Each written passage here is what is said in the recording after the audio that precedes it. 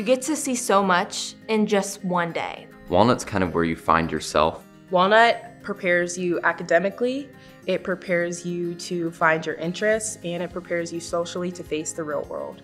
Welcome to Walnut Hills High School. I am Principal John Chambers, and I want to introduce you to our amazing program.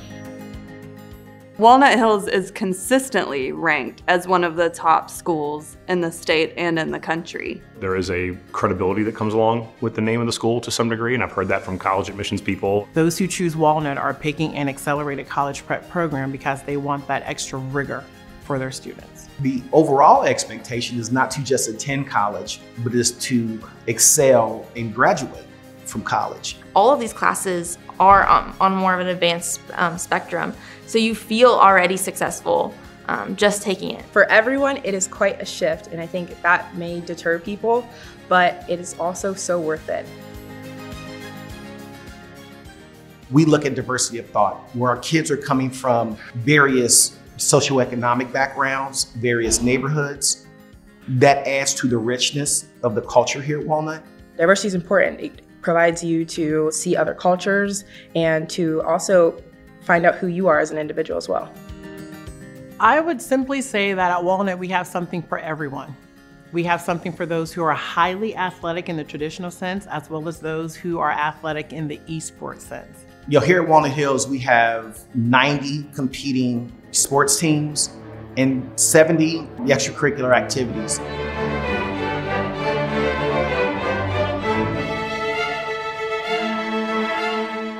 We have a tremendous music department. We have a tremendous art department. We have every club from some type of community service, worldwide service, to just special interest. I'm in programming club and I'm in Red Cross club. Tabletop gaming club, yearbook, the Lego League. If you can think of it, it probably exists here. We are blessed to have alumni who feed back into us in different forms to ensure that our students have what they need and it can be in the form of athletic, athletic facilities, or academics such as our arts and science building.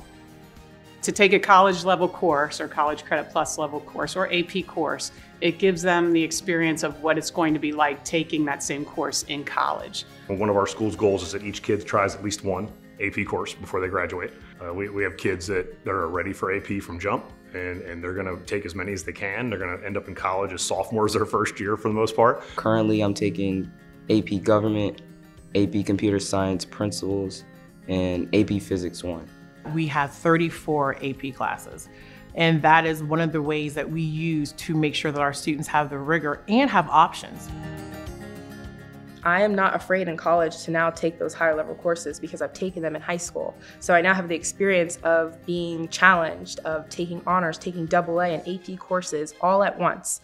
I've learned music, I've learned arts, I've learned comparative politics, like the widest spectrum of different topics are available to you, and I think that's what makes it special. I'm just so grateful that I got to come here because I feel more than ever ready to go and spread my wings and go on to my next chapter.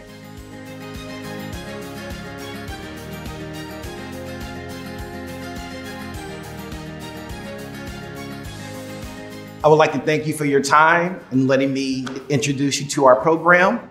If you want to take a deeper dive, please go to Walnut Hills website.